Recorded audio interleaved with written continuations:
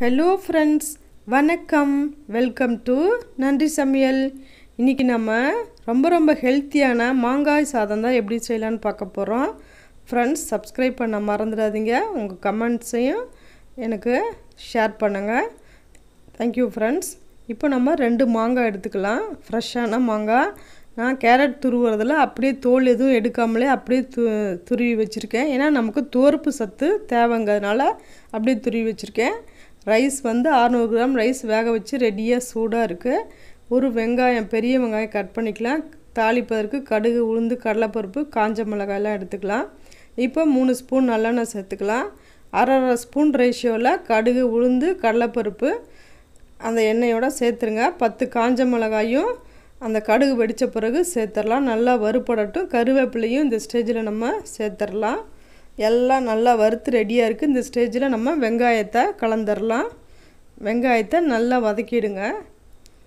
நல்லா வதங்கின பிறகு நம்ம இந்த ஆனியனுக்கு விற்று மாங்காய் துருவி வச்சுருக்கோம் இல்லைங்களா? அதுக்கெலாம் தேவையான உப்பையும் இப்போ நம்ம கலந்துடலாம்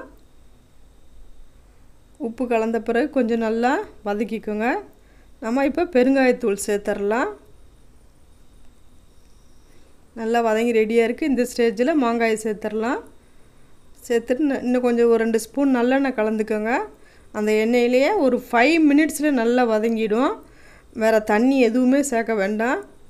அவ்வளோதான் ரெடி ஆகிடுச்சு இப்போ நம்ம வெந்தய பவுடர் ஒரு சிட்டிகை கலந்துக்கலாம். கலந்துட்டு நல்லா வதக்கிடுங்க. இப்போ ரைஸ் ரெடியாக இருக்குது அந்த மாங்காய் வதக்கினதோடு சேர்த்து நம்ம சாப்பாடையும் நல்லா கிளறி எடுத்துடலாம். டென் மினிட்ஸ்க்குள்ளே எல்லாமே ரெடி ஆகிடும் அப்படி ஒரு டேஸ்டியான ஒரு லஞ்சுக்கு நமக்கு ரைஸ் இது.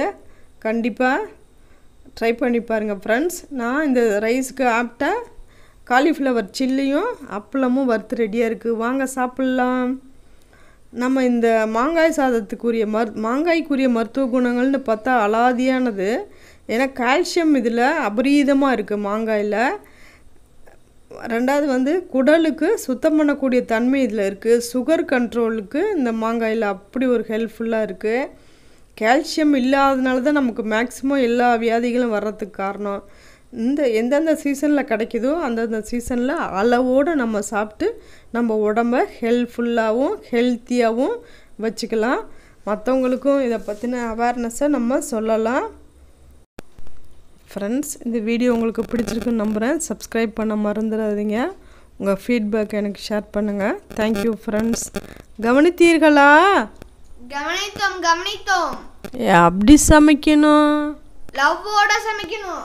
லவ்வோட சமைக்கணும் ஃப்ரெண்ட்ஸ் பாய் வாழ்க வளமுடன். தேங்க்யூ ஃபார் வாட்சிங் திஸ் வீடியோ